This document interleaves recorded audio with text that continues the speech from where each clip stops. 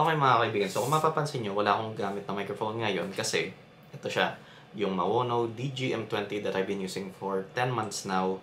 And ngayon, may bagong padala ang Mawono. Nasa sobrang bago na ito is legit, wala pa to sa website nila as of making this video or kahit anong mga product links. So ito nga Mawono PD100X. Mukhang RGB yung main body niya. And of course, if ikaw yung isa sa mga tao na hindi familiar sa Mawono, then Mawono is actually one of the best brands pagdating sa pagbenta ng mga more budget or affordable na mga audio devices such as microphones, headphones, and audio interfaces. Legit, kasi so far yung pinakamahal nilang offering is yung PD400XS nila for over $200 US. Which kung ikukumpara mo sa mga top brands in the market is doble or triple pa ng price nila. Pero pagdating naman sa sound quality is hindi naman sila nag-aakalayo. So ito, ang price talaga na itong DGM20 is under 2,000 pesos as of making this video. And ito naman, not sure. Question mark pa to, mga kaibigan. But yeah, most likely siguro by the end of this video is ito na yung magiging main microphone ko instead of the DGM20 which is a really good mic on its own. Kasi ang kagandahan dito, bukod sa price, is meron din tong noise cancellation. So kapag inon mo yon is talagang, well, cancel ka. And actually, kahit hindi on yung noise cancellation nito is meron pa din siyang parang built-in na noise suppression or something. So kung yung regular na PD100 is about $79.99, wala ko yung magiging price nito. Siguro $100. So, I have no idea how this is gonna sound like, pero alamin nga natin. So, yun nga yung nakalagay sa box. Mauno, global best-selling internet microphone, USB XLR dynamic microphone. So, yeah, uh, dual interface to pwedeng USB-C or XLR. PD100X and yung Mawono Link, which is yung app nila to toggle the different functions din. Course, RGBs. One, yan, one. Yan, yan. Nasa right side ng box. Sa top naman, eto. So, portable stand included, USB and XLR connectivity 2-in-1, digital knob, uh, programmable RGB, and touch mute button. Very nice. And sa likod guys yan mga kaibigan, medyo natamad akong basahin. Take note, hindi pa din pala on tong uh, DGM20. So yan yung user manual. The microphone itself, which feels hefty, a bit hefty. Uy! Ang gandaan dito, is natatanggal, removable yung windscreen niya. Kasi akala ko, nung una ko nakita to is uh, built-in siya. So yan nga, ang pangit niyang tignan without the windscreen. So huwag niyan lang siguro tanggalin. And mukhang capacitive button tong mute button niya.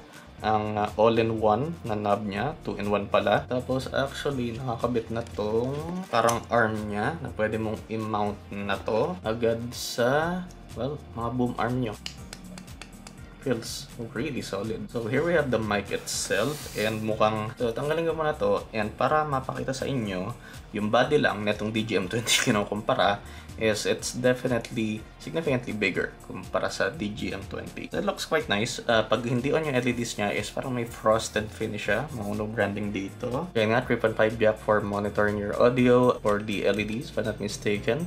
Uh, USB-C tapos yung XLR input. And mukhang may accessory box pa dito sa loob which is a mounting stand. So itong parang bracket niya, pwede mo lang screw in here. Feels solid also.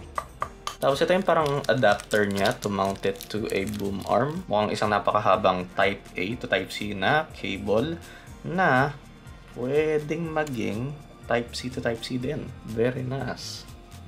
So, yan nga siya.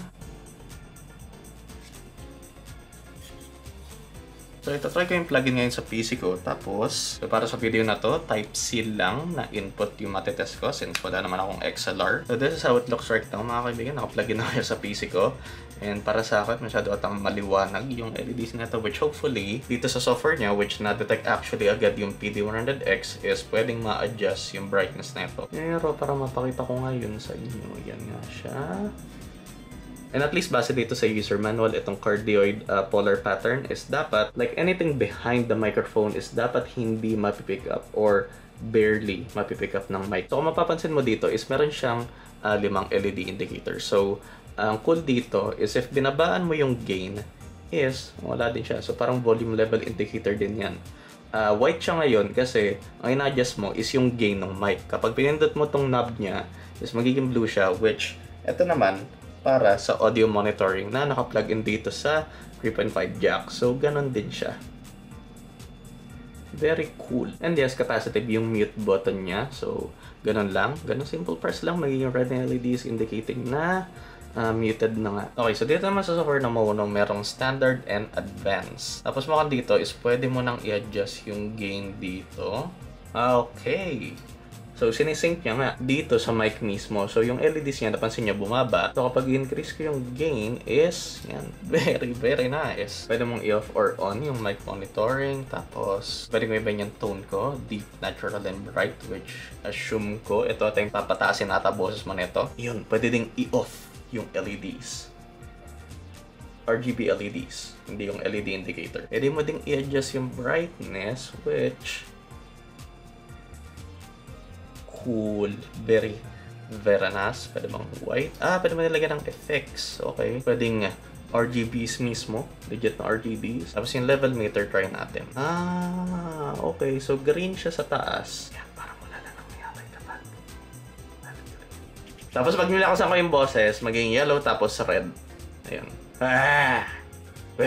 Pero for now, uh, so ibabaan ko lang yung brightness ng LED sa 5 tapos blue lighting linkage. So dapat kapag ninute ko siya ngayon okay mamatay din yung RGBs mismo very nice para magandang indicator na din sa'yo na muted ka nga. Tapos kapag advanced naman ah okay. So yung gain din mic monitoring same shit din. Pero may EQ dito which I don't feel comfortable I'm messing with. So, may limiter tayo dito, compressor, noise cancellation. Ah, okay. So, dito pala, sa standard setting, is hindi ko pwedeng i-change or kahit i-activate pala yung noise cancellation dito. Tapos, testa natin yung audio quality netong uh, PD100X. Okay, so about 12 to 15 inches yung layo sa akin ng dalawang mic na to, the PD100X and then the DGM20. Tapos, ang gagamitin kong pang record is uh, Audacity tapos max gain for both these mics. Pero una nyo maririnig is ito nga. Okay, so hello, hello, mic test, mic test, sound check, sound check. So this is the sound quality that you can expect from the uh, PD100X uh, set at max gain, noise cancellation turned off, tapos uh, recording using Audacity right now. Okay, so hello, hello, mic test, mic test, sound check, sound check. So what you're hearing right now is coming from the uh, DGM20 recording at max gain using Audacity, tapos noise cancellation turned off. So this is how it sounds like compared to the PD100X. Okay, so ngayon, since narinig nyo na yung difference in sound quality ng PD100X at dito sa DGM20, magpo-focus naman ngayon tayo dito sa uh, PD100X. Okay, so hello, hello, mic test, mic test, sound check, sound check. So ito ngayon yung naririnig nyo mula sa Mono PD100X uh, at max gain, noise cancellation turned off, and Actually, isang napansin ko, actually two main things na na-notice ko sa sound quality nitong PD100X kumpara dito sa uh, DGM20 is mas cleaner sounding yung boses ko dito and parang sabog yung boses ko dito for some reason kahit na solid na as is yung sound quality na coming out of the DGM20 na pleasantly surprised nga ako na mas cleaner sounding yung boses ko dito sa PD100X kumpara dito sa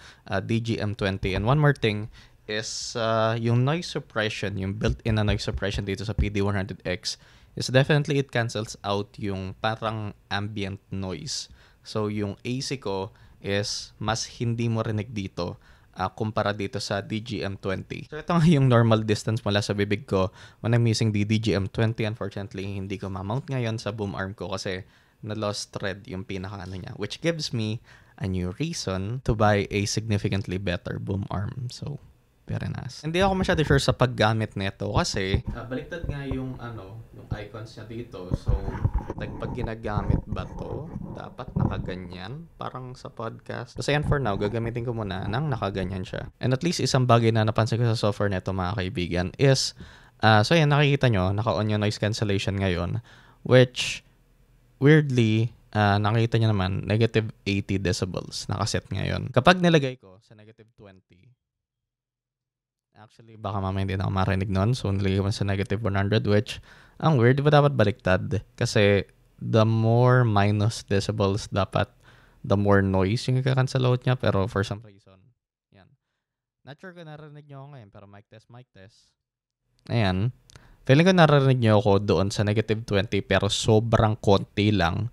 Um, pero at least ang na-notice ko dito, pagdating sa noise cancellation is dapat nakaset siya sa negative 80 decibels. Kasi if less than that, Ah, tama di ba? Yeah. If less than that mo isa-set, is pati yung boses mo is sobrang hina na na tara na pagkakamala ng software na pati yung boses mo is dapat i-cancel out. So, um, actually, para mapanay sa inyo yung difference din.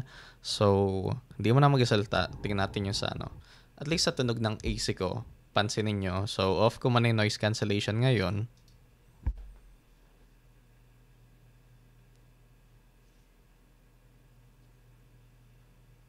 Ngayon, ito turn on ko ngayon ang noise cancellation. May tumol na aso.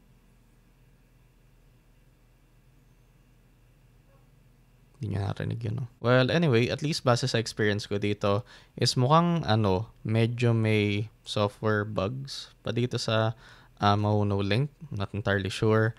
Uh, pero, uh, yung mag-mess around dito sa EQ. Pero dito standard, tignan natin kung ano yung boses ko, magiging boses ko. Yan, mic test, mic test, sound check, sound check. Ganun pa din yung tono ng pagsalita ko.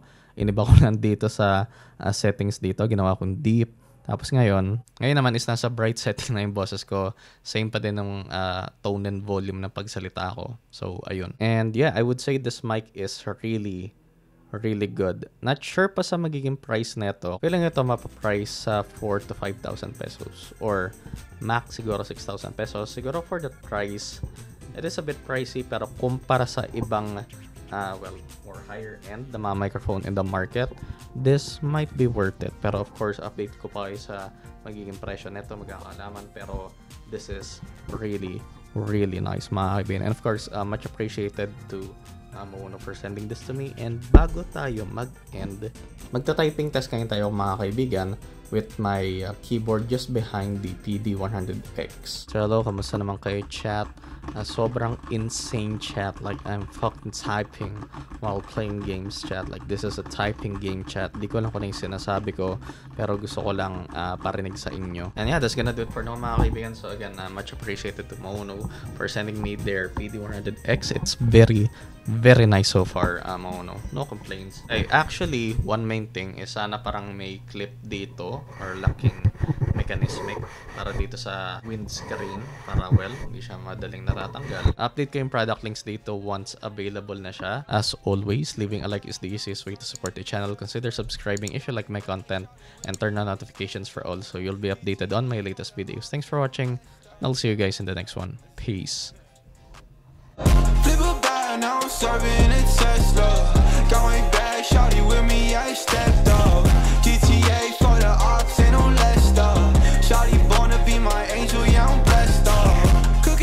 up in the stool, got a cheddar fan. Young, I'm walking out.